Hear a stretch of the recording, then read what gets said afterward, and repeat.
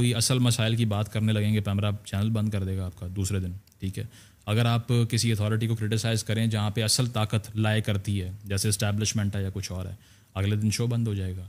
तो आप सिर्फ़ वही तो उसके बाद एफ़ सी कॉलेज की हमने कोशिश की। एफ़ सी कॉलेज में अलाट तो हो गया। नहीं एफ़ सी कॉलेज तो नहीं हमने किया होगा कोई और एफ़ सी कॉलेज तो अलॉट नहीं करा सकते थे क्योंकि एफ़ सी कॉलेज तो सॉरी मैं देखिए मैं वो मेरे आ, मैंने पहले मालूम कर दिया है कि मेरा कोई हाफजा जो है वो काम नहीं करता डीएवी कॉलेज तो डीएवी कॉलेज के लिए हमने अप्लाई किया हुआ था। और हमें वादा भी हो गया था।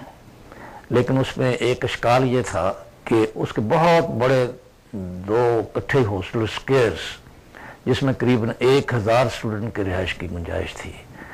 तो वो दो हॉस्टल थे और उसके आगे फिर ये साथ ही कनेक्टेड ये कॉलेज था। बहुत बड़ी लेबॉरेटरी थी। बायोलॉजिकल लेबॉरेटरी में हाथी के स्केलेटन थे। फिजिक्स लेबॉरेटरी भी बहुत अच्छी थी। केमिस्ट्री की बहुत अच्छी थी। लाइब्रेरी भी बहुत बड़ी थी। तो पीछे जो थे, वहाँ पनागजीन हिंदू पनागजीन और सिख पनागजीन ठहरे हुए थे हॉस्टल में। और चूँकि अंदर रास्ता था तो यहाँ से वो सारा वेंडिज्म भी हो रहा था और वो सारी चीज़ें भी उठा उठा कर वो हिंदुस्तान भेज रहे थे। क्योंकि हमारा वफद राजा साहब होते थे राजा पता नहीं जनफर अली एक होते थे पता नहीं उनसे मिला था एक मुझे अब याद नहीं एक राजा साहब थे जो वज़ीर थे तो हम हमने उनसे कहा कि देखिए एफ़ सी कॉलेज हमें अलाट हुआ है। DAV college DAV college allot हुआ है सॉरी अलाट हुआ है। और उसमें हमारी अपनी चीज़ें सारी वहाँ हम छोड़ के आए हैं। और ये प्रॉपर्टी जो है, ये अब यहाँ से पाकिस्तान की है। तो हमें कहने लगे कि आपको ये किताबों की पड़ी हुई है और उधर लोग लुटे पुटे फिर रहे हैं। तो बराबर हम अपना समूह लेकर वापस आ गए। तो जिस वक्त हमें मिला हाँ उस ज़माने में हज़रत मियाँ मुजफ्फर अहमद साहब रिहेबिलिटेशन के कमिश्नर थे या रेफ्यूजीज़ के जो होते हैं। तो हम उनकी खिदमत में भी हाजिर हुए वहीं रतनबाग ही में। तो हमने कहा जी कि हम कोई आपसे सिफारिश करवाने नहीं आए हैं। आप हमें कानून पोजीशन बता दें कि हमें ये अलॉट हुआ हुआ है और वहाँ उधर ये सूरत हो रही है। तो उन्होंने फरमाया कि आपका अगर आपको अलॉट हुआ हुआ तो उसके लिए आप ट्राई करें, कोशिश करें। तो बहरहाल कॉलेज हमें फिर मिल गया, लेकिन उस तो यहाँ मैं काम करता रहा, अब इसमें एक अजीब वाक़ आ गया कि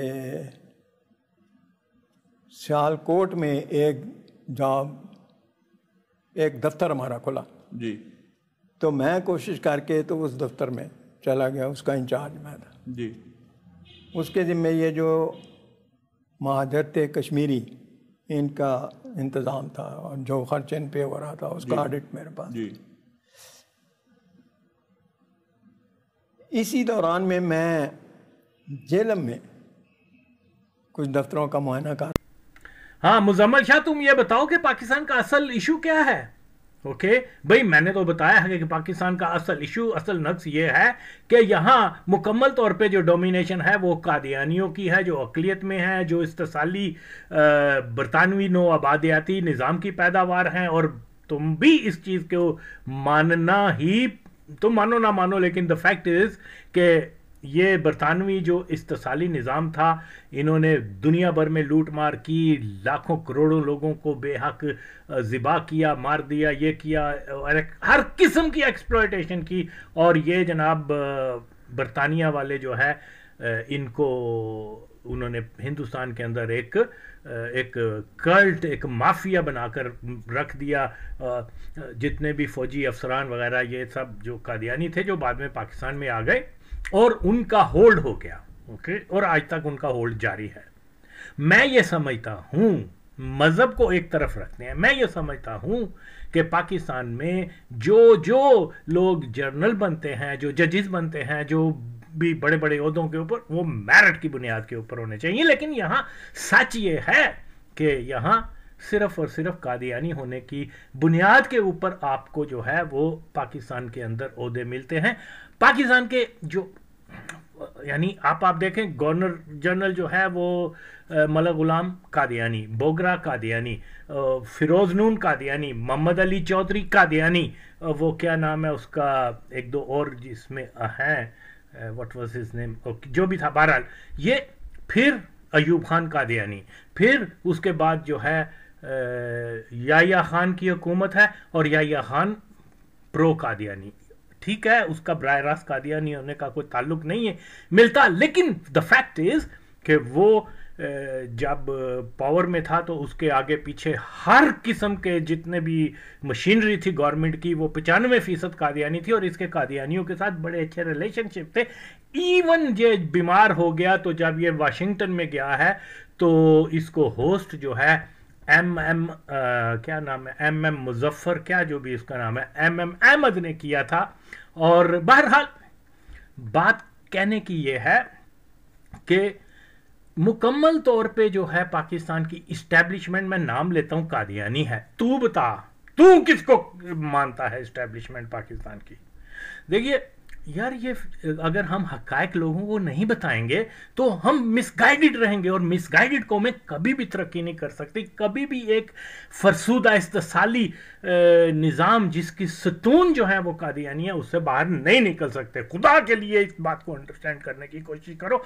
और कोई माई का लाल आके मुझे चैलेंज करे कि पाकिस्तान का असल नक्श कादियानी होल्ड नहीं है। तो मैं मानू। तो मैंने, ये लोग तो सिर्फ़, वो बात करके तो जी, मुल्ला मिलिट्री लाइन है। ब्रिंग मी द प्रूफ एक प्रूफ नहीं है, बल्कि मैंने इनका काउंटर किया है। मैंने बताया, यार, कैसा मुल्ला मिलिट्री इतिहाद है कि मौलवियों ने फरकान फोर्स के साथ मिलकर, फौजियों ने फरकान फोर्स के साथ मिलकर दस हज़ार लोगों को कत्लेआम कर दिया। हम्म? ये मुल्ला मिलिट्री इतिहाद है यानी मिलिट्री ने मरजइयों को, जो पॉपुलेशन का लेस देन वन परसेंट थे, उनको बचाने के लिए दस हज़ार मुसलमानों को जो है वो मार डाला। और आज अगर कोई ये कहे कि मुल्ला मिलिट्री इतिहाद है, और इवन मिड सिक्सटीज में भी जो स्टूडेंट की मूवमेंट चली थी एंटी कादियानी के खिलाफ अयूब खान के दौर में, उसको within within a night उन्होंने चार पाँच हज़ार लोगों को अगवा किया और आज तक उनका पता नहीं चला और मौलवियों ने आज तक एहतजाज नहीं किया। हैं? कितने अफसोस की बात है और कहा जा रहा है मुल्ला मिलिट्री था देखिए, बात क्या है? ये 53 में जो जुलूस निकला करते थे ना तो उसमें क्या होता था कि ये वो क्या तेरा कौन सी रोड है? Tempered road. वहाँ कादियानियों ने मशीन गन लगाई हुई थी, शेख बशीर के, और उन्होंने जनाब जुलूस के ऊपर फायरिंग कर दी। खैर, यार ये फैक्ट्स जो हैं ये आपके सामने हैं और तमाम पोस्टें तमाम जर्नल तमाम इदारों के अंदर कादियानी है। अभी आप ये सुन भी सकते हैं वो रिहैब का जो अफसर बनाया वो मिर्ज़ा कादियानी के, के के पोते को बनाया ओपन कादियानी को। और एक ये एक और है नहीद खान। नहीद सियालकोट का एक है। ये कह रहा है कि मुझे रेफ्यूजीज का यानी ये तो मैं छोटी सी मिसालें दे रहा हूँ क्योंकि 10 मिनट की वीडियो में कितना कुछ बता सकता हूँ लेकिन इनशाला आई विल कीप इसको कैरी ऑन रखूँगा कि जो भी दस मिनट में लोग कहते हैं कि जी आपकी वीडियोस लंबी हो जाती हैं, इसलिए।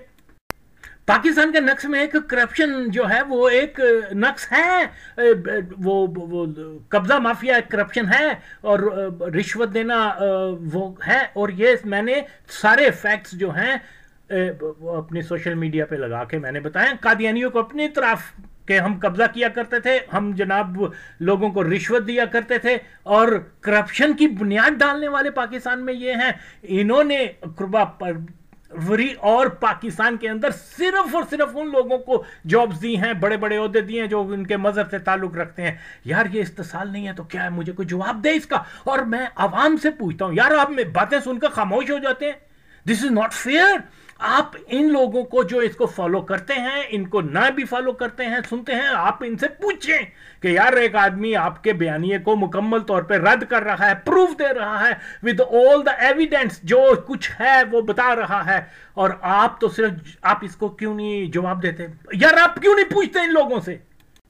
आप देख सकते हैं कि मैंने तमाम लिबरल्स को जो है कंप्रिहेंसिवली जो है एक्सपोज किया है और उनको झूठा साबित किया और क्योंकि वो बिल्कुल और बिल्कुल डिस इंफॉर्मेशन फैला रहे हैं, जो मैं ये कहता हूँ कि पाकिस्तान का सबसे बड़ा नफ्स यही है, सबसे बड़ा इशू यही है कि कादियानी डोमिनेशन है यहाँ। इसको खत्म किए बगैर कुछ नहीं हो सकता।